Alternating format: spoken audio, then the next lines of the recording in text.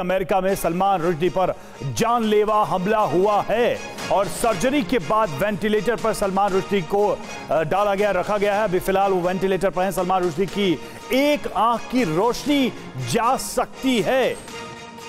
20 second के अंदर 10 से 15 हमले उनके हुए थे, उनके ऊपर। और गर्दन को निशाना बनाते हुए हमलावर ने उन पर वार किए थे। न्यूयॉर्क पुलिस ने हमलावर को गिरफ़्तार कर लिया है। सर्जरी के बाद उन्हें वेंटिलेटर पर रखा गया है और खबर यह भी है कि उनके आँख, एक आँख की रोशनी जा सकती है।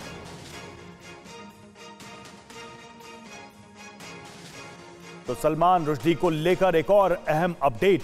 उन पर कल हमला हुआ। आज बड़ी खबर यह है कि उनके एक आँख की रोशनी, उनकी एक आँख की रोशनी जा सकती है। फ़िलहाल उनको वेंटिलेटर पर डाला गया। ये देखिए, सलमान रुश्दी पर एक कार्यक्रम के दौरान मंच पर यह हमला होता है, चाकू से अटैक होता है और उसके बाद तुरंत उन्हें एयरलिफ्ट किया जाता है। फ़िलहाल जानकारी ये मिल रही है कि उनके एक, उनकी एक आँख की रोशनी जा सकती है इस हमले की वजह से।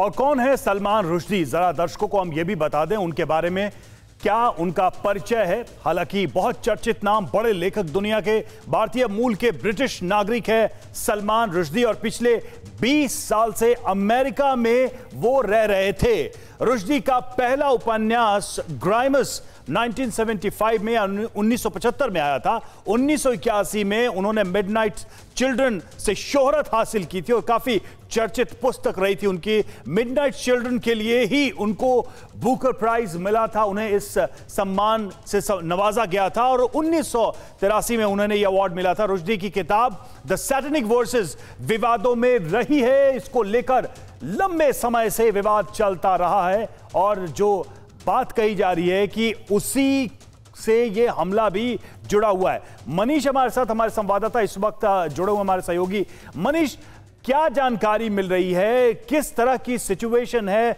बताया जा रहा है कि ऑपरेशन के बाद सलमान रुश्दी को वेंटिलेटर पर डाला गया है। और ये जो अटैक हुआ है, ये जो हमला हुआ है, लंबे समय तक उनको थ्रेट मिलता रहा। अब जाकर इस तरह का जानलेवा हमला भी देखने को मिल रहा है। ये क्या मैसेज दे रहा है पूरी दुनिया में? देखिए, सबसे बड़ी बात यह है कि जिस समय सलमान रजदी स्टेज पर थे, उनका एक इंटरव्यू चल रहा था और उसके बाद उनको स्पीच देना था उसी समय 24 साल के हादी मतार स्टेज पर आते हैं और फिर ऐसा लगता है जैसे मुक्केबाजी की वो पंचिंग कर रहे हो और सलमान रुश्दी नीचे गिरते हैं। और फिर उन, उन शरीर से बहुत सारा ब्लीडिंग होता है। वहाँ पर जो बाकी लोग मौजूद हैं उस सभागार में करीब ढाई हज़ार लोग थे। तो वहाँ कुछ लोग तुरंत ही दौड़कर स्टेज पर आते हैं और वो उनकी जान बचाते हैं। और उसके बाद जब उनको हॉस्पिटल ले जाया जाता है तो अब सलमान रजदी के एजेंट का कहना यह है कि चूँकि उनके गर्दन में उनके लीवर पर काफ़ी चोट आई है और इस वजह से अब उनकी एक आँख जा सकती है। इसका खतरा है लीवर बहुत डैमेज है वेंटिलेटर पर है।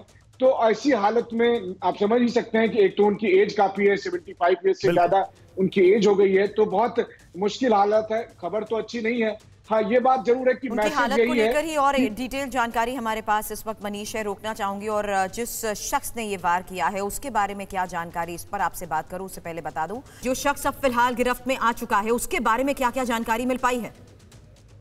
देखिए हदी मतार नाम का ये शख्स इसकी उम्र चौबीस साल है और इसके मोटिव क्या है इसको लेकर फ़िलहाल पुलिस कह रही है कि क्लियर नहीं है तो वैसी स्थिति में आप समझ सकते हैं कि बहुत हद तक गुंजाइश यही है कि वही एक जो धार्मिक कट्टरता है उसकी वजह से सलमान रजदी पर यह हमला हुआ। अब सवाल यह आता है कि जितनी उसकी उम्र नहीं है उससे बहुत बहुत साल पहले exactly. उनके सलमान रुश्दी के खिलाफ एक फतवा जारी हुआ था। और सबसे दिलचस्प बात यह है कि 2012 में जब ईरान ने 2.8 मिलियन डॉलर को बढ़ाकर 3.3 मिलियन डॉलर किया था इनाम की राशि तब सलमान रजदी साहब ने कहा था कि यही अपने आप में एक बात का सबूत है कि लोगों को इन इनाम से फ़र्क नहीं पड़ता है क्योंकि वो दुनिया में तमाम जगह जाते थे भाषण देते थे और उनकी जब बहुत ज़्यादा सुरक्षा थी तो उन्होंने कहा था कि मंच पर जब बहुत ज़्यादा सुरक्षा होती है तो मैं कंफर्टेबल महसूस नहीं करता हूँ।